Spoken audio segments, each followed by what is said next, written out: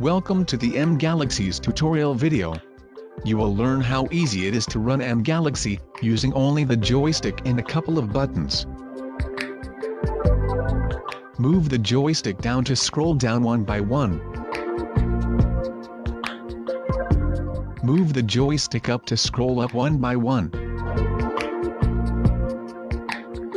Move the joystick right to scroll down one page.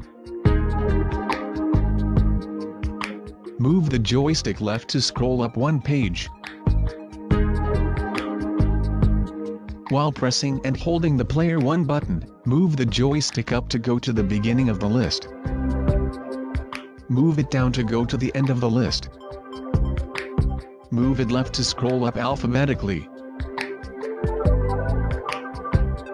Move it right to scroll down alphabetically.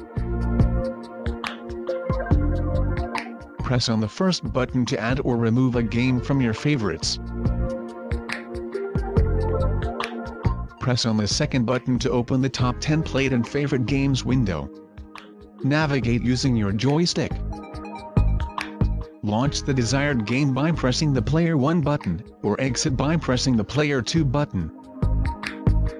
Press on the third button to open the search window. Navigate the virtual keyboard using your joystick.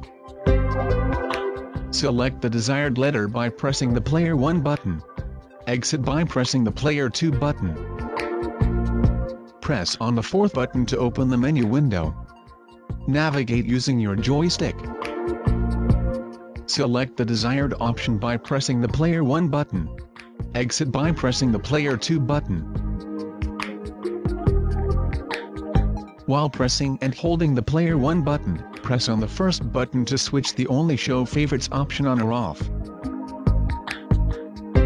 Press on the second button to open the save to top 10 window. Navigate using your joystick. Select the desired slot by pressing the player 1 button. Exit by pressing the player 2 button. Press on the player 1 button to launch the game.